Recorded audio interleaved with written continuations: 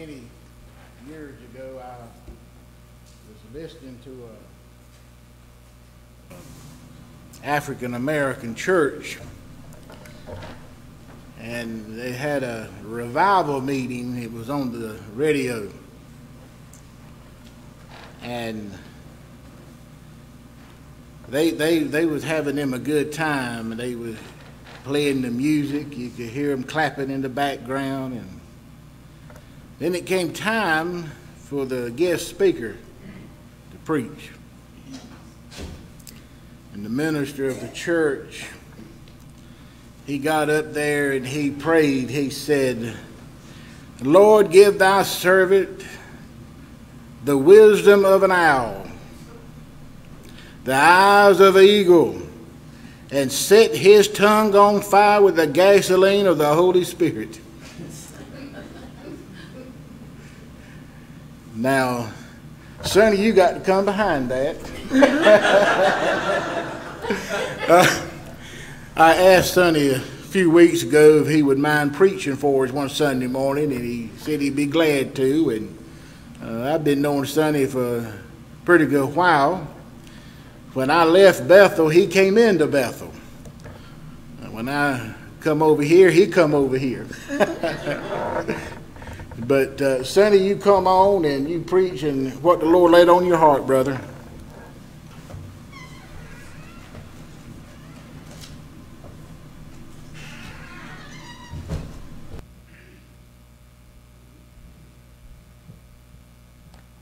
Both the Rohan and rebels.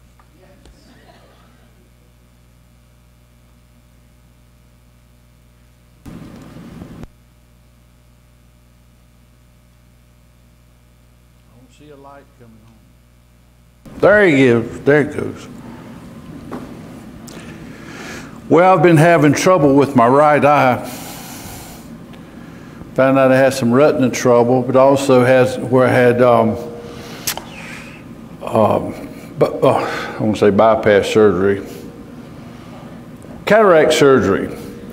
I had to go back and get a laser on my right eye to get that cleared up, but it didn't do any good, so I, I can't see you too good today. And then my left eye is red. You probably see it from the back. It's so red, I don't know what's going on.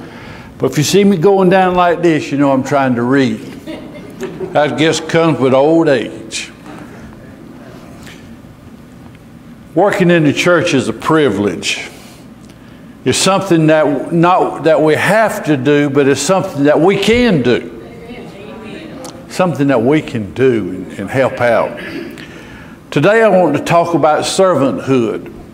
And if you take your Bibles and turn to the book of Matthew, chapter 25 through 27, and I notice that Carl isn't sitting with Linnell today. Must have got bad. Must. I know that's what it is. Matthew chapter 20, verses 25 through 27. And Jesus called them unto him and said, You know that the prince of the princes of the Gentiles exercise dominion over them, and that they are great, they are great exercise authority upon them. But it shall not be so among you, but whosoever will be great among you, let him be your minister. And whosoever will be chief among you, let him be your servant. Even as the Son of Man came not to be ministered unto, but to minister, and to give his life a ransom for many. Let us pray. Heavenly Father, I just pray that you would. Um, Fill me with your Holy Spirit, Lord. Get me out of the way, Lord, and, and be you speaking today, Lord. Thank you for this opportunity that I have to bring the Word of God. And now, Lord, I just pray that I would speak what you'd have me to, Lord, and it would fall on our hearts. And Lord, help us to, to be better servants of yours. So we pray it in Christ's name for his sake. Amen. We as Christians are to be servants of the Lord. There's something for everyone to do. We just have to find what we can do and do it and be happy about it. We may serve at different times. We may serve at different places. We may serve in different positions. But there are things that all God's servants have in common. And this morning I want to share with you the seven marks of a godly servant. The seven marks of a godly servant. That means that we are, are led with, by God and through God, and we do things because of God and through Jesus Christ. So I want to share with you, let's see what time, I've got time. Carl, stop me if I, if I get over today.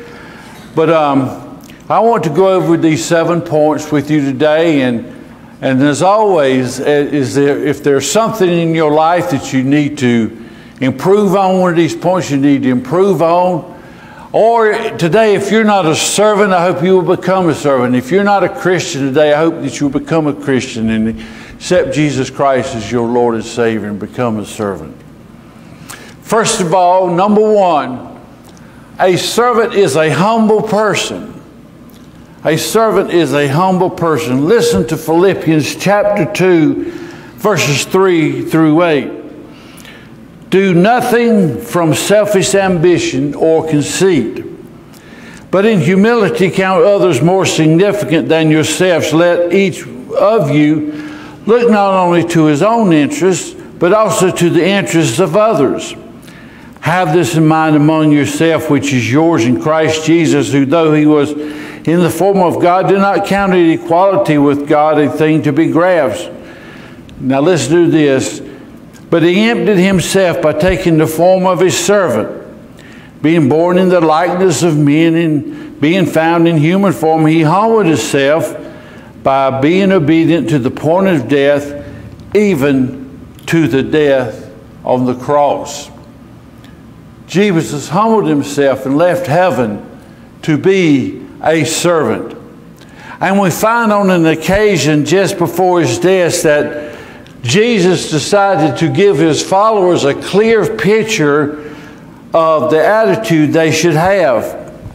We find that had, they had been walking and they came together and been on a trip. Excuse me.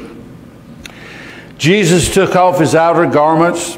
He got a basin of water and he washed their feet. Can you imagine that? He washed their feet. This was a time before regular road cleaning or daily showers. The 12 pairs of feet washed belonged to hairy men who walked through roads where herds of animals had walked. Can you imagine that? All manner of livestock.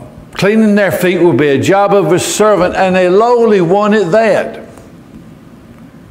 But the disciples resisted the idea that their master and teacher should stoop to such a thankless task. But Jesus persisted. This is something he had to do. He had to teach them a lesson. And John 13, 13 through 17, he says, You call me Lord and teacher, and you are right, for I am. If I then, your Lord teacher, have washed your feet, you also ought to wash another's feet, for I have given you an example that you should do just as I have done to you. Truly, truly, I say to you, a servant is not greater than his master, nor his messenger, greater than the one who sent him. If you know these things, blessed are you if you do them. So Jesus humbled himself. He washed his disciples' feet. He said, And if I am humble, then in your ministry you have to be humble also. If Jesus humbled himself in this way, even further in his death, then we should be humble in all that we do for others. Humble in all that we do for others, not with selfish, selfish ambition or conceit, not for anything we can get out of it, not for recognition and praise, but we, because we do what we do because we love Him and we want to please Him. We love Him and we want to please Him. That's what we do things for, not for our own, our own self gratification. Number two, a servant prepares. If you're going to be a servant, you got to be prepared to be a servant. 1 Timothy 4:16 says, Take heed unto thyself and unto the doctrine, which is the word.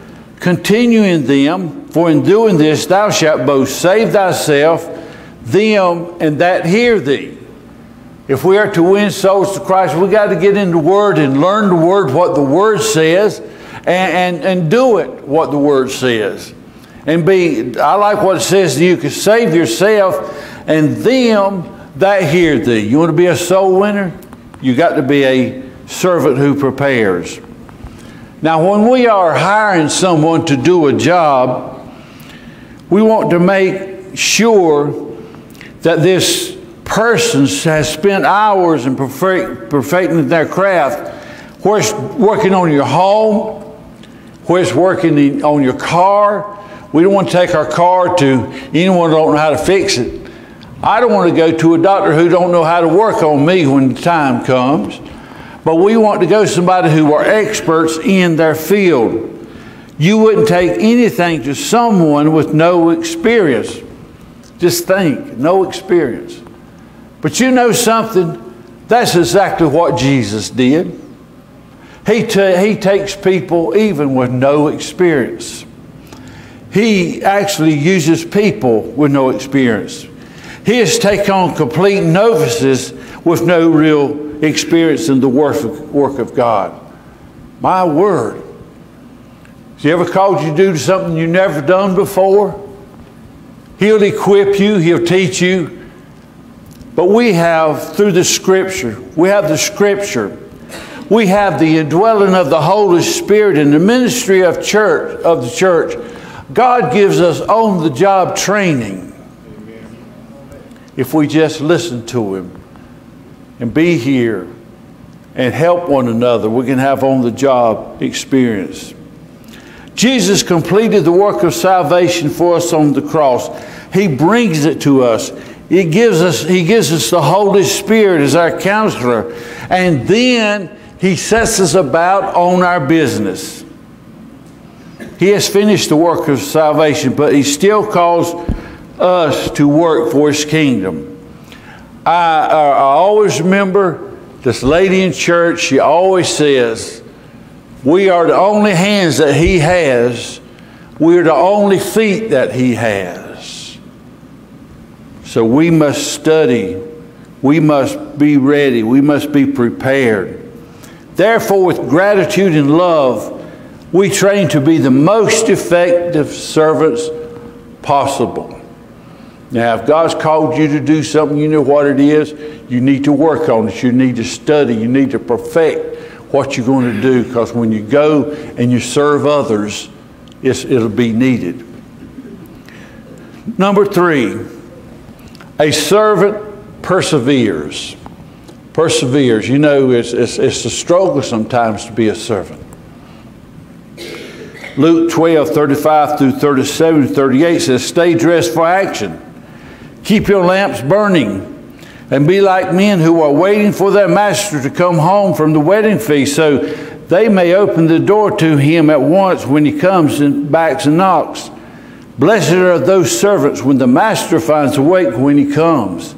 If he comes in the second watch or in the third and finds them awake, blessed are those servants who persevere, who keep on going. I guarantee you that the work that we're do, doing is long and it's tiring and sometimes it receives little or no recognition, what we're doing. And it may seem to count for a little, just a little, while it's being done. But we must keep on doing it. We must keep up the good work. We must continue such work. And it is a challenge none of us is up to on our own. But we are not on our own, brothers and sisters. Remember when, when you're working, you're working with God. You're not working by yourself. And we have others working with us. 1 Corinthians 3 9 says, For we are laborers together with whom? With God. So that, that ought to touch us. We are laborers together with Him. When you're doing something for others, He's there with you through the help of the Holy Spirit. And He will guide you in what to do. I know we have a lot of ministries in our church, and that is wonderful. People are servants, they're reaching out, and they're doing things for others. You know, those little kids appreciate them Christmas boxes when they get over there. And it's because somebody, a servant, was willing to get them together and send them off. People appreciate that. The Master gives us work, gives us others to work beside. And that's a good thing that we can all work together. We have the handyman ministry, we have the women doing things, we have the deacons doing things, but you know, we're not in it alone. We are working together as one unit for the glory of God. That's what servanthood is all about. Most importantly, He gave Himself working in us and through us so that we may be truly ready whenever He comes. We must persevere. Persevere and be doing His work because we don't know when, he come, when He's coming back. But I believe He's coming back soon. And we want to be working and be living for Him and doing what we can when He comes back. Brother Carl, wouldn't it be good if he was up here preaching and you came back doing, do, doing what you love to do, doing what you do for serving others? It's a wonderful feeling to me to serve others. You know that Lynette's not doing well. She, she's doing better, but I do things for her, and she says, you do so much for me. I said, Well, I'm a servant. And I enjoy doing for others, doing for you, and doing for others as I can.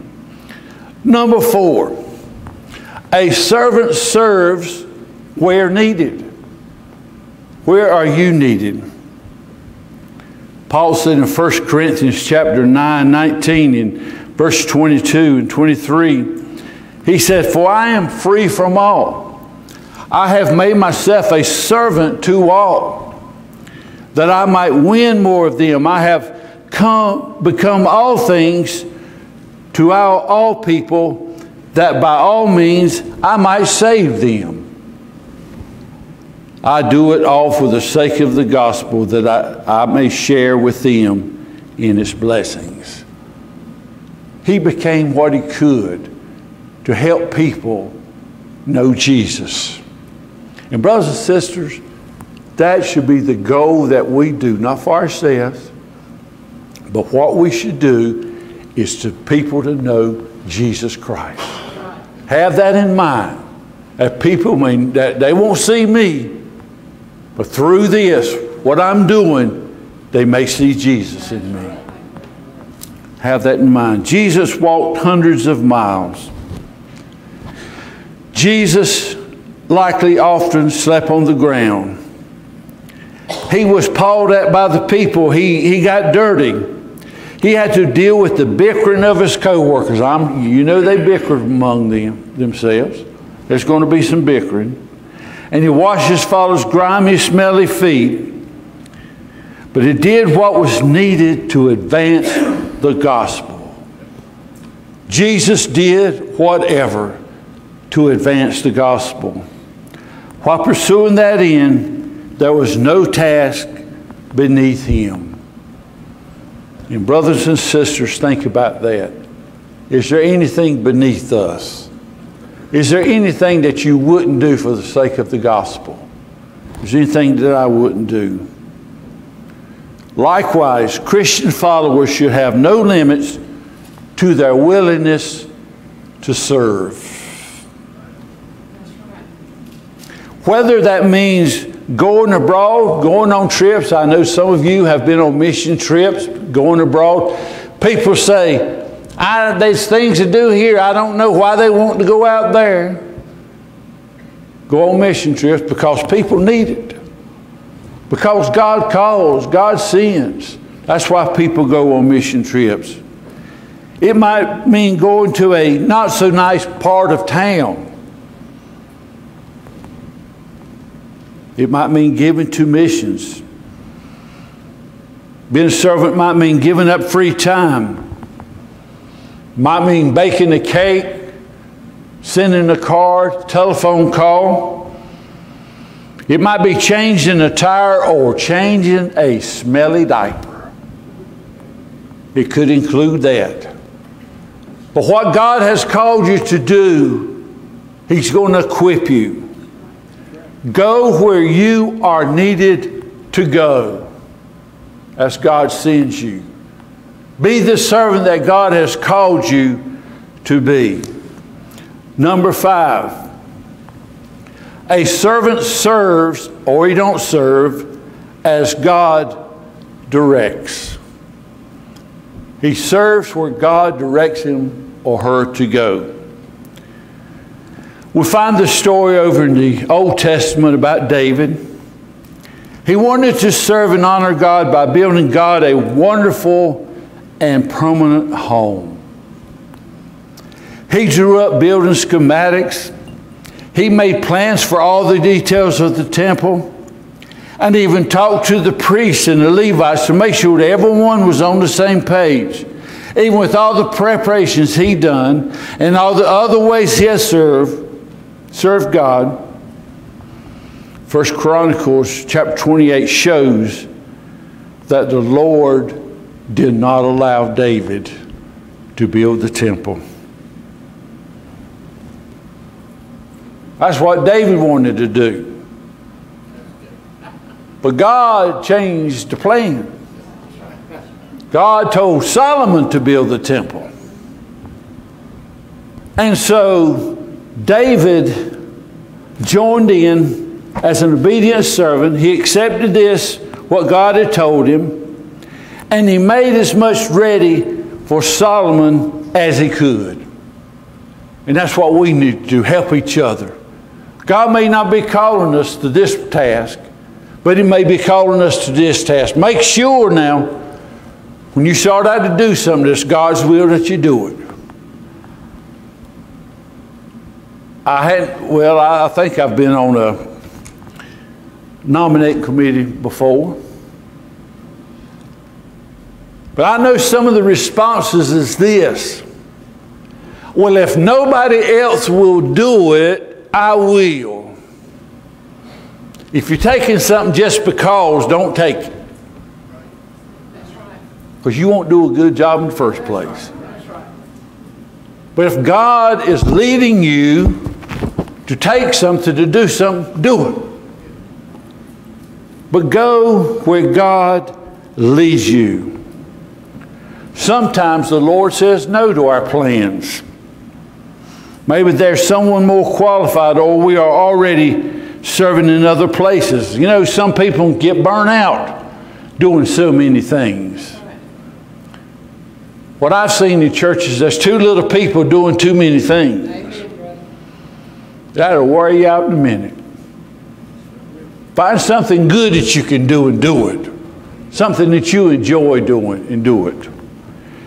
Maybe we don't know why, but we trust, but we trust and obey God, knowing for those who love God, all things work together for good for those who are called according to His purpose. It's going to work out. Just keep on working. Keep on being a servant. Whatever you're doing, if you're not doing anything, find something to do. But let Lord lead you in what to do. Moving right along. Number six, a servant expects to suffer. Expects to suffer. Now, I'm not talking about, well, it could be physical pain and suffering when, when you're a Christian doing work. But things are going to come your way that is going to trip you up. Matthew 10 24 and 25 says, A disciple is not above his teacher, nor a servant above his master. It is not enough for, for a disciple to be like his teacher and servant like his master. If they have called the master of the house of Beelzebul, which is, is a god, how much more would they malign, though, malign those of his household? You know what malign means? Anybody know what that means? I looked it up. It means to talk about in a critical manner. These people were being ridiculed because of who they were. And we can expect to suffer by being ridiculed because we are. And that's, that's true in America today. That Christians are being ridiculed because of who they are. The more and more that you let the light of Jesus shine through us, the more and more the people who love darkness will become convicted and uncomfortable in the light of this glory and will hate you.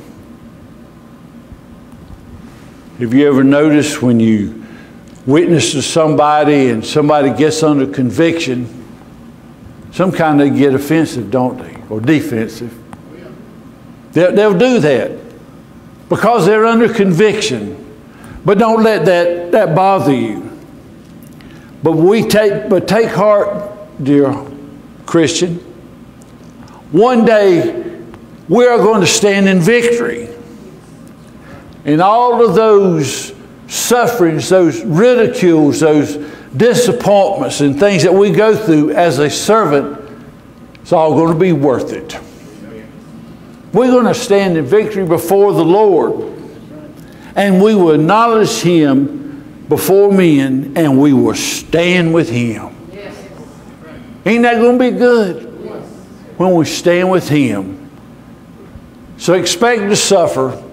Everything that you do for the Lord is not going to be appreciated. Not everybody's going to pat you on the back. And, I've seen it in churches. Brother Carl, I know you've seen it too. When somebody strikes out to do something good, there's always somebody that speaks against them. Somebody would say something negative about what somebody is doing good. Mercy me. Like the pastor's been saying, we're not fighting against flesh and blood. We, we, we're fighting against principalities. We're fighting against the devil. And, and he, he's going to make sure you're going to get disappointed or try to get disappointed. He's going to make sure that somebody says something to you. He's going to use somebody. But keep on going. That's right. Don't, don't give up. Don't give up. And number seven, a servant is not ashamed. Hallelujah. A servant is not ashamed of what they do. If you're ashamed, shame on you. But you got to be happy and glad about what you do enjoy what you do. 2 Timothy 2 15 says, Study to show yourself approved unto God, a workman that needeth not to be ashamed, rightly dividing the word of truth. A workman that needeth not to be ashamed. Don't be ashamed when it comes time to sharing the gospel, because if you studied on it, you're going to know it. But also, don't be ashamed of the Lord. He said, If you're ashamed before men, I'll be ashamed of you for my Father. Oh, Paul, I like what he said in Romans 1.16. He says, For I am not ashamed of the gospel, for it is the power of God unto men, power of God unto salvation to everyone that believeth, to the Jew first, and also to the Greek. Brothers and sisters, I'm not ashamed of the gospel, are you? Because I know what the gospel did for me. Through those words that, that for God so loved the world that God gave his only begotten Son. It meant me. And I accepted Jesus Christ because of the gospel. And you should never be ashamed of the gospel. I don't care if you're in, in a, a crowd of, of 10 who are unsaved and you're the only one who is Christian. Be proud of the gospel. Be proud of who you are. Remember, the work we do, that we do, is for Jesus.